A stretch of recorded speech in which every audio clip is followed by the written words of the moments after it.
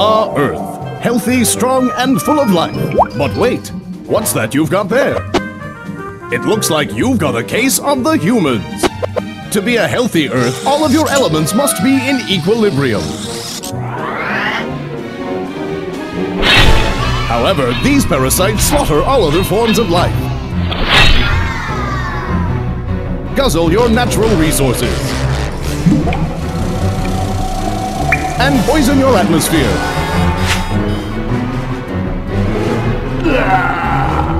Once contracted, humans act quickly. They multiply over 300,000 a day, consuming anything that crosses their path.